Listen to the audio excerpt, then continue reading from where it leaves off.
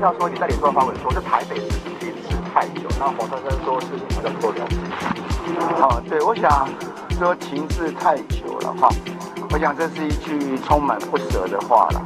好，当一个市民对于台北市好的一个不舍，我觉得台北市值得更好的对待，值得更多的进步。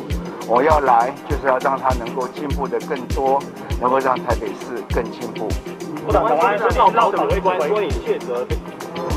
对，我想一向我人生的座右铭就是尽责。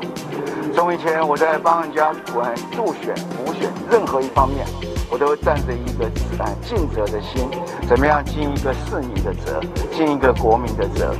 自己当政务官也是义无反顾，希望能对国家社会能够有所贡献。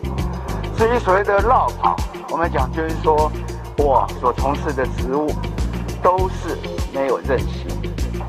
好，换句话说，并不是说这一期里面要来当四年，再当三年，当五年，没有。我在进到政务官的体系里面是自由业。